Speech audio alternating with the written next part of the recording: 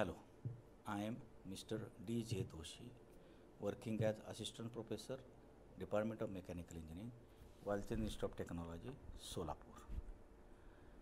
At the end of this session, students will be able to perform different operations on lathe machine. Different operations which can be carried out on lathe machine are the grooving, parting, knurling, drilling, boring and threading. So, first one grooving. It is the process of providing a narrow groove on the cylindrical surface of the workpiece. The shape of the tool is reproduced on the workpiece, so it is also known as form process or form turning. Now, in this process, the job is held in a chuck which is mounted on the spindle. The job rotates along the axis of the spindle.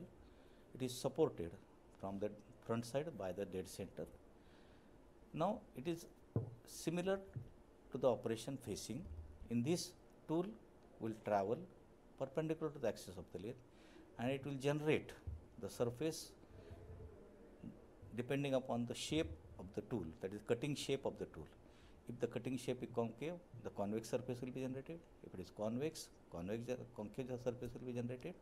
If it is a flat one, it will be grooving with a right angle surface that is parallel to the diameter of the shaft. Now, in this case, it is necessary to give the slow speed to the workpiece and the tool that is grooving tool called as or forming tool it is called as, it will be traveling perpendicular to the axis. Sometimes the chattering operations are observed or chattering symbols are uh, signs are observed, observed on the diameter. So, it is necessary to make the tool move parallel to the axis also. So, depending upon the surface required, we will decide the tool. As I told, it will carry out forming also that is concave or convex surfaces as well as flat surfaces. The tool travel will be very slow because it will be chattering or it will be removing major length of the job depending upon the groove size and due to which sometimes vibrations are observed. So, finally, when we want finished surface at the end of completion of grooving, we will just remove slice, slide, slide material from the diameter. So, this is called as grooving. The tool is also called as grooving tool and the operation is called as grooving or forming. Next is parting. It is same as grooving, but in this case we will be cutting the workpiece into two pieces. Now, it is the process of cutting a workpiece into two parts. The tool used is called same as parting operation or parting tool. So, here instead of maintaining the depth of the groove, we can we will travel the tool till the axis so that the workpiece will be divided into three pieces sorry two pieces. Now, in this case the job is hold in a uh, holding device or job holding device or workpiece holding device. It is depending upon the length of the workpiece, it may be supported from front side by dead center. If it is the length is small, then, then there is no necessity to hold it or support it from the front side. The tool will be similar to parting tool, but width will be less and we will go on carrying out parting operation by giving feed to the tool perpendicular to the axis of the lathe till the workpiece is divided into two parts. So, it is similar to parting tool, parting operation, but of course, here there is no necessity to convert this parting tool into forming tool or form surface will not be generated on the cutting edge of the tool, only this will be flat surface and we will go on carrying out it till the workpiece is divided into two parts. Third operation is called as knurling.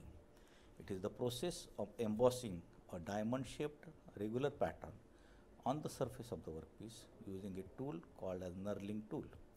It is not a metal cutting process, but squeezing of metal takes place during this process. Again in this case also the RPM of the spindle or the circular motion of the uh, workpiece will be less because it is not removing the material, it is squeezing the material. So, it needs very slow speed and the tool which is called knurling tool on which diamond surfaces are pro pro produced to carry out the similar surface on the workpiece. So, in this case workpiece will be rotating along its own axis Here it is necessary to support from front side by dead center and the tool is actually pressed perpendicular to the axis on the workpiece. So, it will start generating the diamond knurling or diamond surface on the shaft and the tool will rotate along its own axis. If you observe this tool here, this is the tool. So, this tool diamond tool or knurling tool will be rotating along its own axis when it is pressed or it is uh, feed is applied or depth of cut is applied here it will start rotating along its own axis and it will generate similar surface on the workpiece. Here the simultaneous movement that is here the feed will be given horizontally or parallel to the axis depending upon the length of knurl required, knurling surface required. So, suppose this has a 10 mm width and this has the knurling surface required is 30 mm in length, it will be slide with the help of carriage parallel to the axis and depth of cut will be given with the help of cross slide and the diamond generated surface will be there. So, it is used for appearance good then this knurling knurled surface will give you grip for working. Now, usually tap wrenches, pipe wrenches and wherever we need grip to this surface. So, here if you hold there will be more grip than this flat surface or finished surface. So, the knurling is provided for looking uh, appearance good, for giving the gripping uh, area more and this appearance also will be good. Answer this question, in which process metal squeezing takes place? I hope you might have written the answer. The answer of this question is knurling. Next is drilling operation. So, the limitation of drilling on lathe is that we can drill only along the axis of the workpiece or along the axis of the lathe. So, we can't generate hole other than the axis. So, it is the process of producing cylindrical hole in the workpiece. In this case, the job is hold in a work, work holding devices. The drill or tool of the drilling is hold in the spindle of tailstock the tailstock is taken nearer to the workpiece surface and it is clamped. Then by rotating the hand wheel, the spindle will move along the towards the headstock and it will generate that drill hole in the uh, spindle will generate the hole of the required size. If larger size hole, hole is required, we will go on changing the drill bit or the tool of drilling and we will go on increasing the aperture size or hole size. So, here the coolant is required and the speed will be depending upon the size of hole to be generated.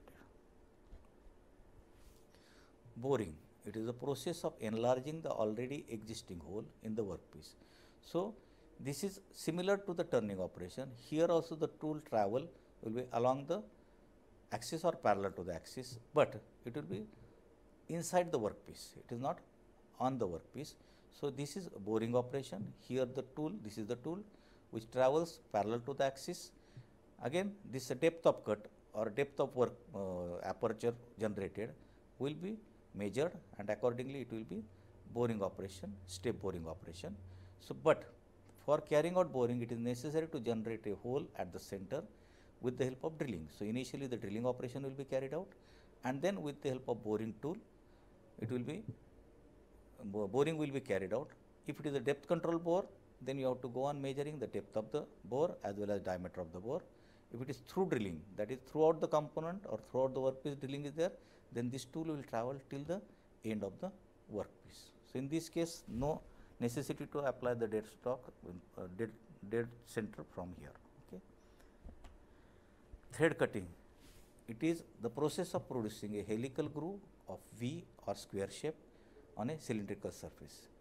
In this case, the tool will travel parallel to the axis, but as I told these this distance that is distance between two threads that will be the travel of the tool for 1 rpm of the workpiece. So, workpiece is hold in a chuck and a particular gear train this is change gears. So, this gear train is so adjusted that for 1 rpm or 1 revolution of uh, the component, the tool will be traveled by the distance between two threads. In this case, dead center is required to support the component. The job will be uh, rotating very slowly. The gear train will decide the speed of the feed travel or feed. The depth of cut, we will go on increasing the depth of cut. In this case, half nut is used, which will be engaging. These are the half nut, which will be engaged with the lead screw, which will decide the tool travel. So, thread cutting tool will travel in such a way that for one revolution of the workpiece, it will travel by distance between two thread and the repeated operations or repeated cycles will be deciding the depth of the thread. So, depending upon the depth of the thread, we will repeat the cycles and the threading operation will be carried out. So, here we are engaging the half nut, whereas in other cases, we will never engage the half nut. For this, I have used BL Singhal, a textbook of basic mechanical engineering, TechMax publication. Thank you.